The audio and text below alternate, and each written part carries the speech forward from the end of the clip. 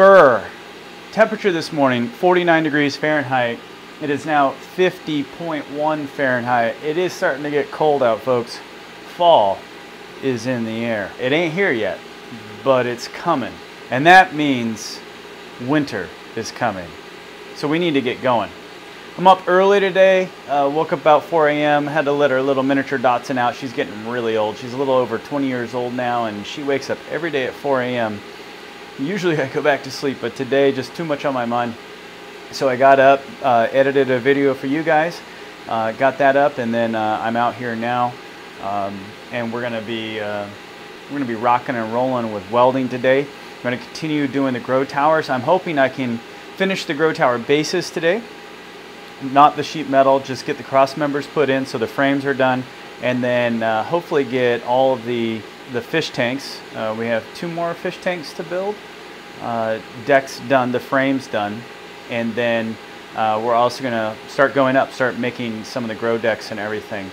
Uh, so hopefully we can get more than one deck on and actually start seeing these things take shape. We have lots of filing though to do um, because of that mistake I made. Uh, so it, it, may not be as uh, productive as I hope or as uh, may not get the results I want, but we'll see. So uh, I'm gonna go get my welding shirt jacket on actually. That jacket is perfect for right now. Uh, it's nice and heavy and it's warm. Oh, it's nice, I'm gonna go put that on. And we're gonna get out there, get the tunes cranked up and get to work. I need to create a coat rack here, but don't tell Safety Sally. it works really well.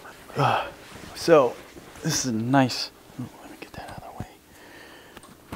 Nice welding jacket here. And it's great for days just like this, uh, where I don't, I don't know why I'm whispering. it's early. Mrs. Martian is still in bed and I'm out here, so I'm whispering. And she can't hear me worth a darn. I'm to crank up the music. Actually, you know what? Uh, so I've been listening to a, a sci-fi book series. Uh, I like hard sci-fi and uh, it's called Expeditionary Force. And uh, they just released book 10, and it is a clever, witty, uh, entertaining uh, book, and I just downloaded it this morning. So I think instead of music, I'm actually going to put my earbuds in and uh, listen to that book today.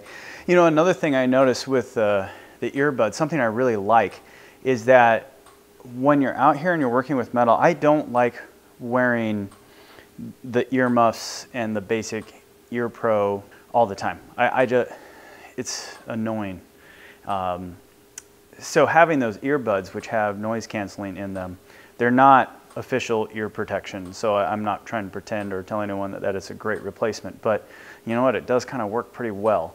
Uh, and it's nice if you're going in between, like what I found yesterday when I was working is there's a, the little things you do that are like grind for a little bit, right? You don't, I don't like taking off my helmet, putting on my ear pro, or wearing ear pro under the helmet. Uh, it's just annoying, so I just do it. And uh, my ears were getting pretty sensitive to that. And so I do, safety Sally is right, you gotta protect your ears. I already have tinnitus, um, so I don't want it to get worse. And uh, so I think having those earbuds in today would be a good thing, and I get to listen to a book, so that's nice. but I do need, to all the young kids out there, don't do what I did in my life definitely get some good hearing protection. And for everybody out there who's a pro, if you've got a good set of hearing protection that you like to wear underneath your welding hood, uh, why don't you put a link down below? Um, we'll, you know, uh, let everyone know what you guys do.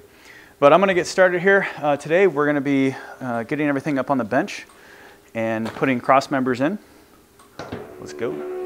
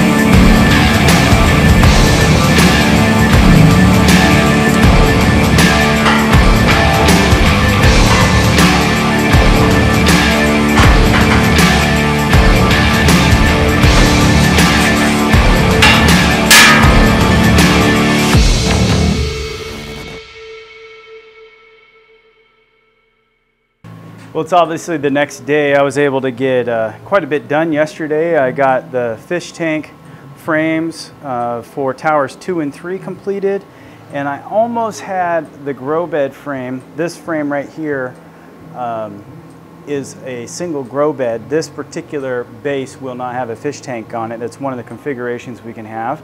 And as you can see, I just got done what we call the corn tower or hemp tower for those that want to grow industrial hemp. Uh, this tower is built, is made for this purpose. If you didn't know, if you haven't watched all my videos, these are actually aquaponic slash aeroponic towers, uh, which we're really excited to get put together.